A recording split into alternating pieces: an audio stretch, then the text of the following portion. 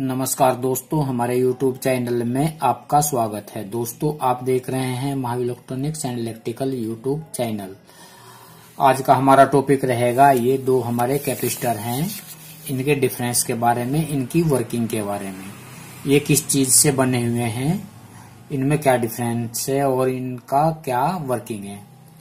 तो दोस्तों, अभी तक आपने मेरा चैनल सब्सक्राइब नहीं किया तो चैनल को सब्सक्राइब कर लें। साथ में बेल आइकन की घंटी भी दबा दें, जिससे आने वाला नोटिफिकेशन आपको जल्दी से मिल जाए।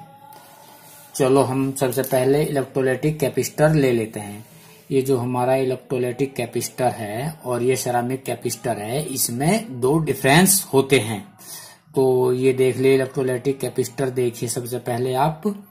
ये इलेक्ट्रोलाइटिक कैपिस्टर दो प्लेटों से बना हुआ होता है।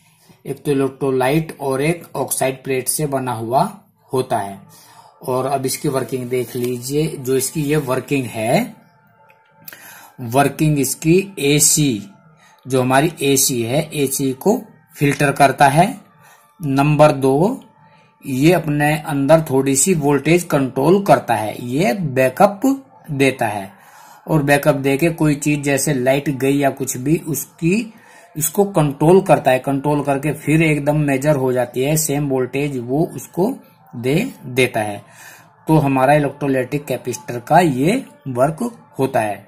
इसके बाद आता है ये हमारा सेरामिक कैपिस्टर तो ये हमारा सेरामिक कैपिस्टर है। सेरामिक सेरामिक कैपिस्टर जो होता है, ये भी मेरी दो प्लेट से बना हुआ होता है।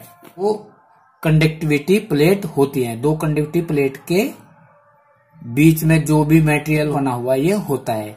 ये मेरा सेरामिक कैपिस्टर है। और सेरामिक का जो काम है सेरामिक कैपिस्टर का जो काम है, इस फ्रीक्वेंसी को कंट्रोल करता है। फ्रीक्वेंसी फ्रीक्वेंसी घटाता है फ्रीक्वेंसी बढ़ाता है।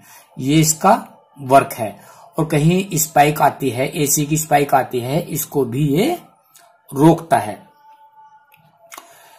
तो दोस्तों, ये जो हमारे दो कैपिस्टर है, इनकी यही आज की वर्किंग थी, यही इनमें यही डिफरेंस है।